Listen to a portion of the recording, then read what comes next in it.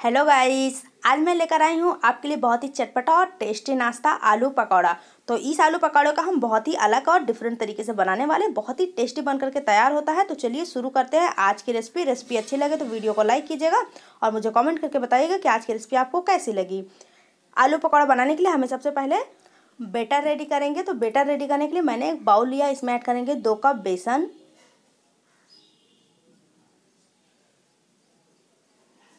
बेसन मैंने ऐड कर दिया है, अब हम इसमें ऐड कर देंगे बाकी की चीज़ें तो मैंने लिया हुआ है आधी चम्मच अजवाइन।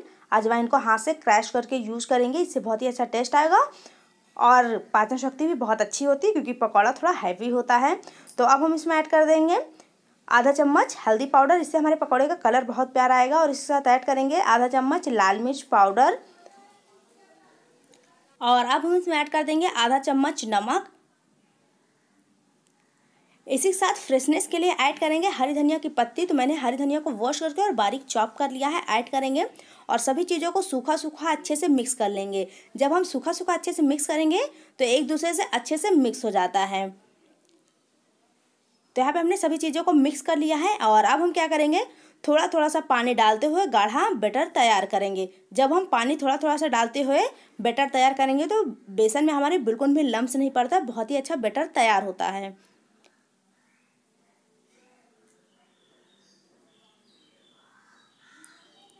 बेटर को हमने दो मिनट तक अच्छे से मिक्स करते हुए तैयार कर लिया है तो अब हमें इतनी कंसिस्टेंसी का बेटर चाहिए। अब क्या करेंगे, इसको ढक करके दस मिनट सेट होने के लिए रख देंगे, तब तक हम बाकी चीज़ें तैयार कर लेते हैं। मैंने लिया है आलू, प्याज और हरी धनिया की चटनी। तो प्याज को मैंने छिलका उतार करके और गोल गोल स्लाइस में कट कर लिया, जैसे हम सलाद कट करते हैं, वैसा ही। और आलू को मैंने छिलका उतार करके और जैसे चिप्स कट करते हैं, वैसे ही कट करके रेडी किया है। उसके बाद मैंने लिया हुआ है यहाँ पे हरी धनिया की चटनी। हरी धनिया की चटनी का वीडियो आपको मेरे यूट्यूब चैनल पे मिल जाएगा तो आप वहाँ से ले लीजिएगा।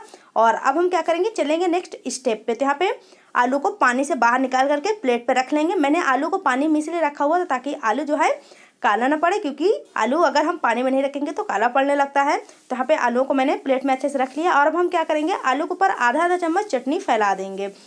तो आप जितनी अच्छे से चटनी आलू के ऊपर रखेंगे, फैलाएँगे, उतना अच्छा टेस्ट आएगा। इस बात को ध्यान रखते हुए आप अच्छे से रख लीजिए।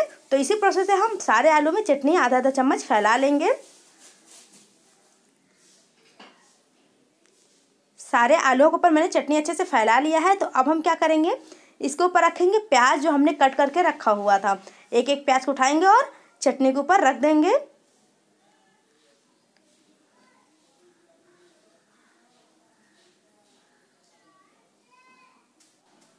इसी प्रोसेस से मैंने सारा तैयार कर लिया है। बहुत ही अच्छा दिख रहा है, बहुत ही टेस्टी दिख रहा है। अभी तो जब फ्राई करेंगे तो कितना टेस्टी दिखेगा? तो मैंने लिया यहाँ पे बेटर बेटर का हम कैप उठाएँगे और फिर हम आलू उठाएँगे जो हमने रेडी करके रखा हुआ था।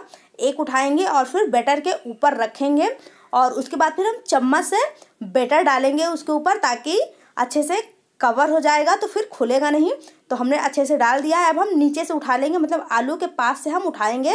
तो वहाँ पे आप देख पा रहे हो कि मैंने इसको उठा लिया। अब हम इसे डायरेक्ट ऑयल में डाल देंगे फ्राई होने के लिए।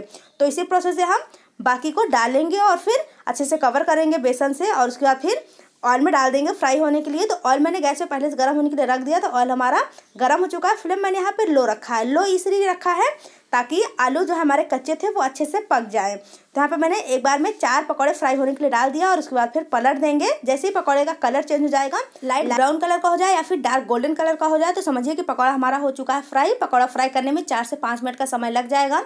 तो पकौड़ा यहाँ पर मेरा हो गया फ्राई। इसको मैं ऑयल से बाहर निकाल लेती हूँ। ऑयल से बाहर निकालते समय कलछी को थोड़ी देर ऑयल में रोक करके रखेंगे ताकि एक्स्ट्रा ऑयल जो है वो कढ़ाई में निकल जाए। इसी प्रोसेस से हम बाकी पकौड़े को भी बेटर में डालेंगे और फिर बेटर से निकाल करके और ऑयल में फ्राई होने के लिए डाल देंगे। तो यहाँ पे हमारे सारे पकौड़े हो गए हैं तैयार। बहुत ही टेस्टी दिख रहा है पकौड़ा। तो मैं आपको एक पकौड़े पास से दिखाती हूँ कि कितना टेस्टी दिख रहा है।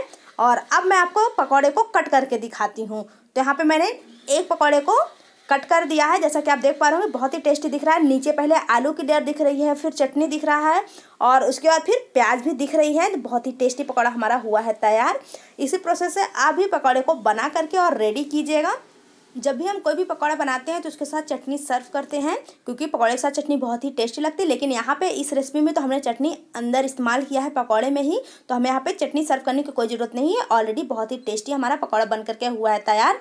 गाइस आज की रेसिपी आपको कैसी लगी? मुझे कॉमेंट करके कॉमेंट बॉक्स में बताइएगा। रेसिपी अच्छी लगे तो वीडियो को लाइक कीजिएगा। मिलते हैं नेक्स्ट वीडियो में। Bye guys